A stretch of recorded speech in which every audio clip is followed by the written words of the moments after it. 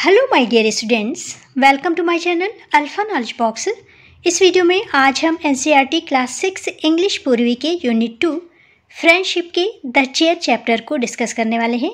यहाँ पर इसे शॉर्ट में एक्सप्लेन करेंगे और साथ ही कुछ एनसीईआरटी क्वेश्चन आंसर को भी डिस्कस करेंगे। चैप्टर का नाम है द चेयर इसे शॉर्ट में समझेंगे। इसकी समरी को समझेंगे। पूरा एक्सप्लेन नहीं करेंगे। ये एक मारियो नाम का बॉय है। और ये इसके दादाजी हैं। मारियो को नए नए फ्रेंड्स बनाने का बहुत शौक है। उसे लगता है कि उसके बहुत सारे फ्रेंड्स हैं। वो सबसे फ्रेंड्स की तरह बिहेव करता है। लेकिन उसके दादाजी उसे समझाते हैं कि ऐसा नहीं है। तुम्हें ऐसा लगता है कि सारे तुम्हारे फ्रेंड्स हैं, लेकिन वो सारे तुम्हारे फ्रेंड्स नहीं हैं। वो तुम्हारे सहपाठी हो सकते हैं या क्लासमेट्स हो सकते हैं। इसके लिए इसके लिए दादाजी मारियो से एक शर्त लगाते हैं, जिसमें वो कहते हैं कि अगर तुम हारे तो तुम मुझे फ्रूट चाट खिलाओगे और अगर मैं हारा तो मैं तुम्हें फ्रूट चाट खिलाऊँगा। मारियो इस बात के लिए जल्दी से तैयार हो जाता है क्योंकि वो बहुत ज़्यादा फ्रेंड होने का शो ऑफ़ करता है। उसे ऐसा लगता है कि सभी उसके फ्रेंड हैं। इसके लिए उसके दादाजी एक मैजिक इनविजिबल चेयर देते हैं और मारियो से कहते हैं कि इसे अपने स्कूल ले जाओ और ले जा करके अपने फ्रेंड के सामने इसमें बैठना। अगर तुम बैठ गए तो तुम्हें पता चल जाएगा कि तुम्हारे कितने फ्रेंड्स हैं। वो चेयर को अपने स्कूल ले जाता है और सभी फ्रेंड्स के सामने उसे रख करके उसमें बैठने की कोशिश करता है। एक्चुअल में चेयर होती ही नहीं है। उसके दादाजी सिर्फ़ उसे बताने के लिए ऐसा कहते हैं कि ये चेयर इनविजिबल है।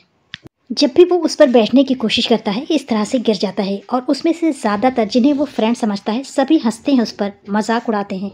और लास्ट बार जब वो बैठने की कोशिश करता है तो इस तरह से बैठ जाता है। उसे लगता है वो सक्सेस हो गया, वो चेयर पर बैठ गया, लेकिन पीछे घूम करके देखता है तो उसके थ्री फ्रेंड्स उसको पकड़े हुए होते हैं।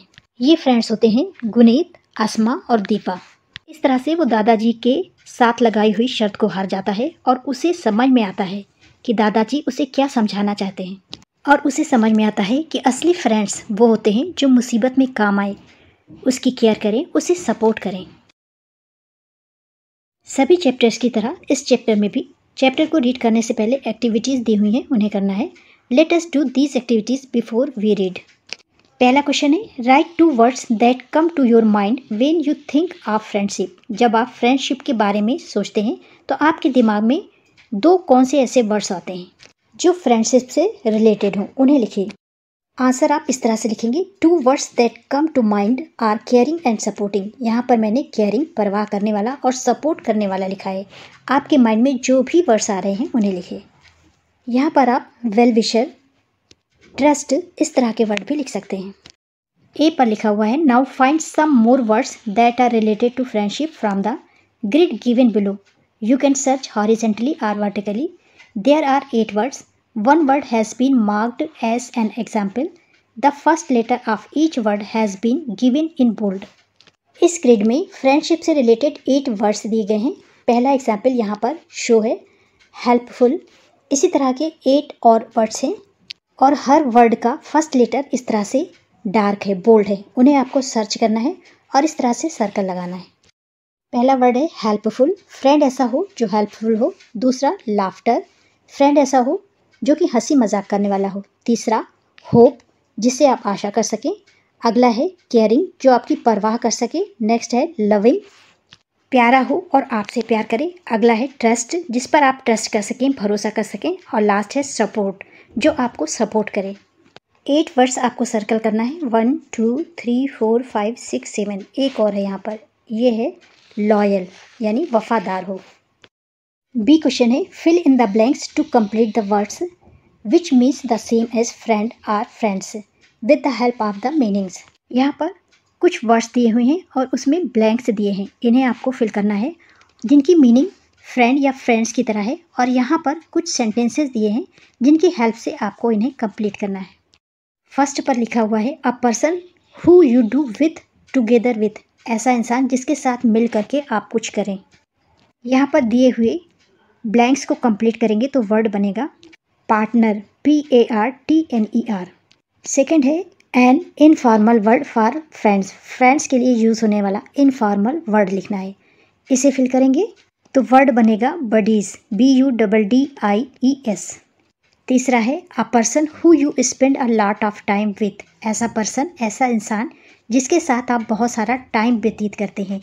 इसे फिल करेंगे तो वर्ड बनेगा companion C O M P A N I O N और लास्ट है children's who are in the same class as you at school आपके स्कूल में, आपके क्लास में जो बच्चे होते हैं, उन्हें क्या कहते हैं? इसे फिल करेंगे।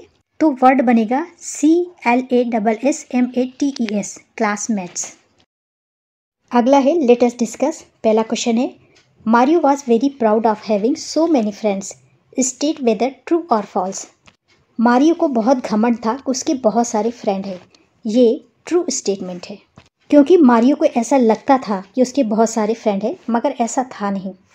सेकेंड क्वेश्चन है what did the grand father take from the attic attic मतलब होता है अटारी। अटारी का मतलब है रूफ गाँव वगैरह में जनरली रूफ को अटारी ही बोलते हैं।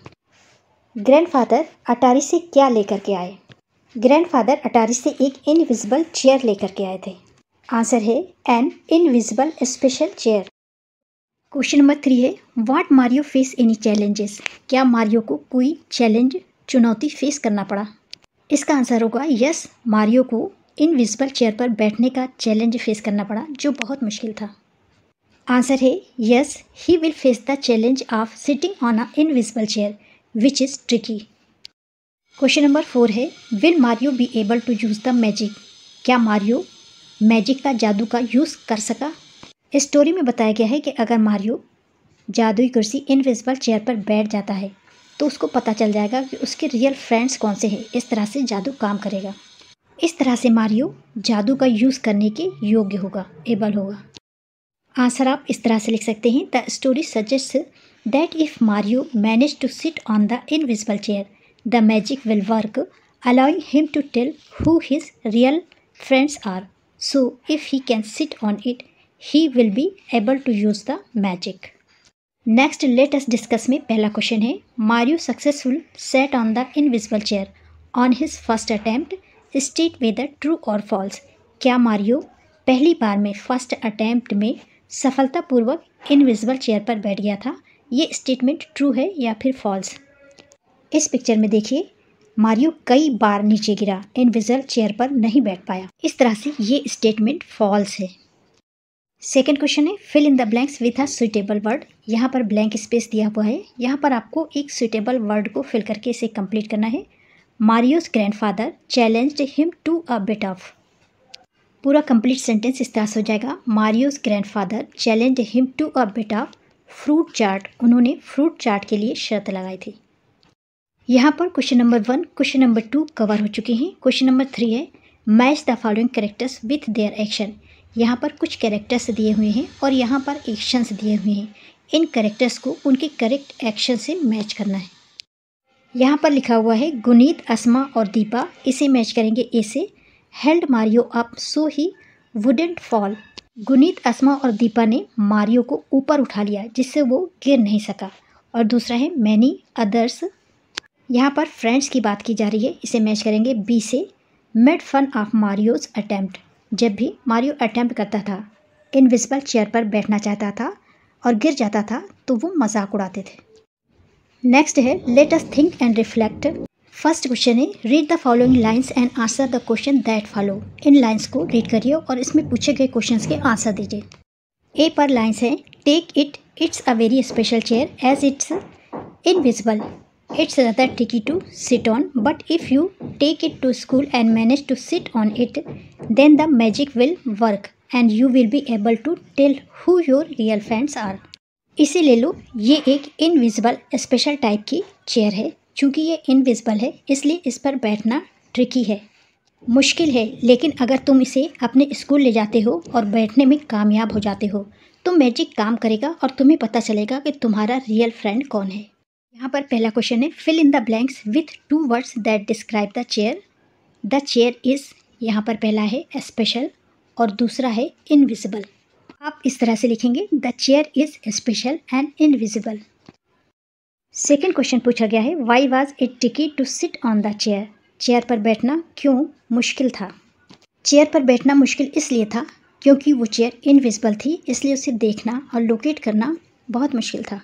आंसर इस तरह से हो जाएगा it was tricky to sit on the chair because it was invisible making it difficult to see and locate question number three है why does Mario's grandfather call the chair special Mario के grandfather ने दादाजी ने chair को special क्यों कहा? Mario के दादाजी ने चेयर को स्पेशल इसलिए कहा क्योंकि अगर वो उस चेयर पर बैठ जाता है तो उसे अपने रियल फ्रेंड्स का पता लग जाएगा। आंसर इस तरह से हो जाएगा। Mario's grandfather calls the chair special because it has the magic ability to reveal who Mario's true friends are when he successfully sit on. B पर लाइन दी हुई है। Wait wait, just a slight technical problem he said trying again but again he missed the seat causing more surprise looks and laughter Mario's wouldn't give up Mario ने फिर से कोशिश करते हुए कहा रुको रुको, शायद कोई टेक्निकल प्रॉब्लम है। लेकिन वो फिर से चूक गया सीट पर नहीं बैठ पाया। उसे बहुत आश्चर्य हुआ और हँसी भी आई और उसने हार नहीं मानी। फ़र्स्ट क्वेश्चन है fill in the blanks with a suitable reason Mario says there was a technical problem because Mario ने कहा कि टेक्निकल प्रॉब्लम है क्योंकि वह कुर्सी को देख नहीं पा रहा था। कुर्सी इनविजिबल थी। आंसर है Mario says there there was a technical problem because he couldn't see the invisible chair second question है friends were very caring and helpful state with the true और फॉल्स मारियो के friends care करने वाले और help करने वाले थे। बिल्कुल थे क्योंकि लास्ट में थ्री फ्रेंड्स ने उसे पकड़ लिया था, उसे गिरने नहीं दिया था। ये ट्रू स्टेटमेंट है। पार्ट वन वीडियो का लास्ट क्वेश्चन है choose the correct option to complete the sentence sentence है Mario wouldn't give up this shows he is Mario ने गिव अप नहीं किया, हिम्मत नहीं हारी। वह था स्ट्रॉन्ग विल्ड लविंग सपोर्टिव और हार्ड वर्किंग करेक्ट आंसर है स्ट्रॉन्ग विल्ड उसकी विल बहुत स्ट्रॉन्ग थी। चैप्टर की part two video answer the following question से स्टार्ट करेंगे। This is the end of video thanks for watching